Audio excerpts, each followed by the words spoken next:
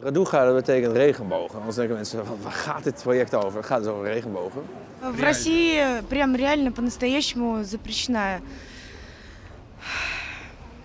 радуга.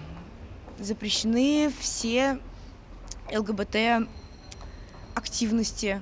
Regenbogen kunnen nooit door de politici eh, weggegooid worden, Hom- homoseksuelen ook niet. Het is gewoon- het zijn alle twee een soort speling van de natuur, leuke spelingen van de natuur. Ik ben zelf homo en ik heb altijd gedacht, ik ben zo.